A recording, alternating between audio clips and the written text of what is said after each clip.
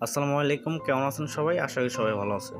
আজকের যে ভিডিওটি, সেটি হচ্ছে একদম বাতিল ব্যাটারি। ব্যাটারি যখন নষ্ট হয়ে যায়, তো তারপরেও আরও ছয় মাস চালানো সম্ভব যদি আপনি এই নিয়মটি ভালোভাবে খেয়াল করেন এবং সেটি ব্যাটারির উপ- উপর প্রয়োগ করেন। তাহলে অবশ্যই কিন্তু আরও ছয় মাস সেটি চালানোর জন্য প্রস্তুত হবে। তো সেক্ষেত্রে আপনাকে অবশ্যই একটু মনোযোগ সহকারে ভিডিওটি দেখতে হবে এবং ভিডিওটিতে যা যা করণীয় আছে সেটি আপনি ব্যাটারির উপর প্রয়োগ করলেই সেটি কিন্তু হান্ড্রেড পারসেন্ট ব্যাটারি ভালো হতে পারে। তো এই প্রসেসটি ব্যবহার করার পর আপনি অবশ্যই সেখান থেকে আরও ছয় মাস ব্যাটারিটি ভালোভাবে ব্যবহার করতে পারবেন। তো অবশ্যই নাটেনের সম্পূর্ণ ভিডিওটি দেখবেন এবং চ্যানেলটিতে যারা এখনও সাবস্ক্রাইব করেন নাই, অবশ্যই চ্যানেলটিতে সাবস্ক্রাইব করে চ্যানেলের সাথে থাকবেন।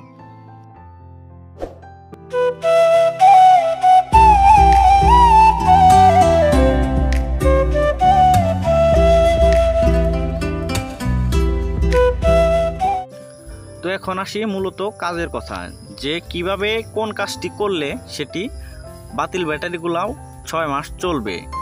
তো অবশ্যই কিন্তু একটু ভালোভাবে খেয়াল করবেন যে আমি কি কথাগুলো বলি, সেই কাজটি করবেন।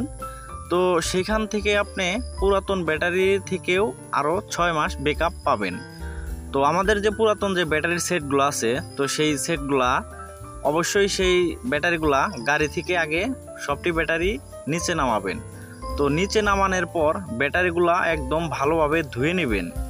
তো ব্যাটারির যে ক্লামগুলো আছে, সেই ক্লামগুলো এবং কি ব্যাটারির ভিতরে যে অ্যাসিড পানিটা আছে, সেই অ্যাসিড পানিটা ব্যাটারি থেকে ভালোভাবে নামিয়ে নেবেন।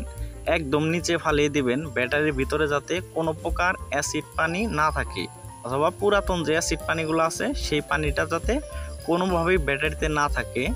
তো সেখানে আপনি ব্যাটারির যে ভিতর সাইড আছে, সেটা একটু ভালোভাবে পানি দিয়ে ধুয়ে নিতে পারেন।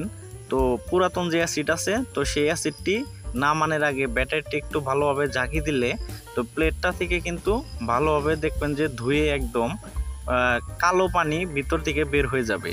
তো এইভাবে ব্যাটারির যে প্লেটগুলো আছে, সেটি ভালোভাবে একদম ধুয়ে নেবেন। ধুয়ে নেওয়ার পর যে কাজটি করবেন, সেটি হচ্ছে ব্যাটারি আগে যেভাবে ছিল, যেমন পাঁচটি ব্যাটারির যে একটি প্রথম সিরিয়াল করবেন, তো যেটি পর- প্রথমে ছিল সেটি দুই নাম্বার দিবেন, যেমন উল্টা পাল্টা করবেন। যে দুই নাম্বারেরটা চার নাম্বারে চার নাম্বারেরটা পাঁচ নাম্বারে তো এরকমভাবে উল্টাপাল্টা করে আবার পুনরায় গাড়িতে সেট করবেন।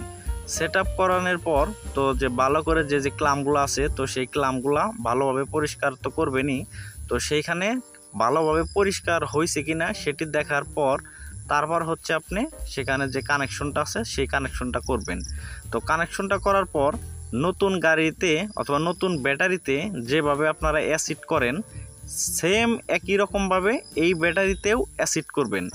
তো পুরাতন অ্যাসিড কিন্তু ফালিয়ে দেওয়ার পর, পুরাতন অ্যাসিড যখন ফালিয়ে দিবেন, তারপর গাড়িতে তোলার পর নতুন ব্যাটারিতে যেরকমভাবে অ্যাসিড করেন, সেইভাবে আবার অ্যাসিড করবেন। অ্যাসিড করার পর সেই ব্যাটারিটা নতুন ব্যাটারি যেভাবে চার্জ দেন, চব্বিশ ঘণ্টা অথবা আঠারো ঘণ্টা যে যেরকম চার্জ দেন, কমপক্ষে আঠারো ঘণ্টা নতুন ব্যাটারি যেভাবে চার্জ দেন, সেম একই রকমভাবে এই ব্যাটারিটাও চার্জ দিবেন। তো দেখবেন যে আঠারো ঘণ্টা চার্জ দেওয়ার পর এই ব্যাটারিটা থেকে আপনি আগের থেকে অনেক বেশি ব্যাকআপ পাবেন। তো এই ব্যাকআপটি কিন্তু দিয়ে আপনি অবশ্যই প্রায় অনেক দিন গাড়ি চালাইতে পারবেন। তো এই নিয়মটি যদি আপনি মানেন, তাহলে আপনি ব্যাটারির যে বাতিল ব্যাটারিগুলোও দেখবেন যে অনেক দিন ব্যাকআপ পাবেন। তো আশা রাখি ভিডিওটা আপনাদের সবারই উপকার হয়েছে। তো যারা এখনও চ্যানেলটিতে সাবস্ক্রাইব করে নাই, অবশ্যই চ্যানেলটিতে সাবস্ক্রাইব করবেন।